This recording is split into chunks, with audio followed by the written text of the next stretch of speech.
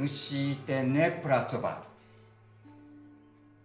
Já vám říkám. Jinak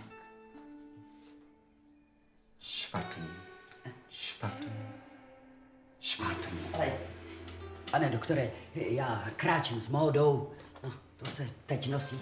Já nemůžu nepracovat. Mně se rozvádí devět manželství. To prostě nejde. Nejde. To nejde.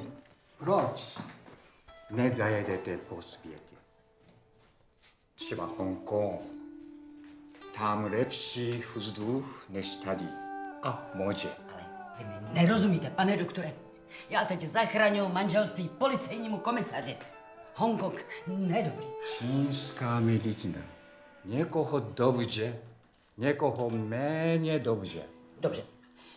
Pane doktore, když na tom trváte, ale já to udělám kvůli vám. Já mám takového synovce. On má velkou, pěknou se zahrádkou.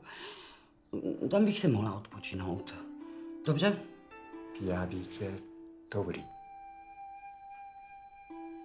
Večer na nohy. Hodinu až dvě. Pijavice. Děkuji. Děkuji.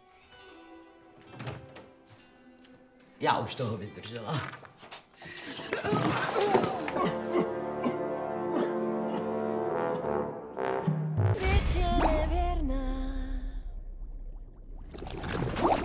No tak já bych začal s podprsenkou.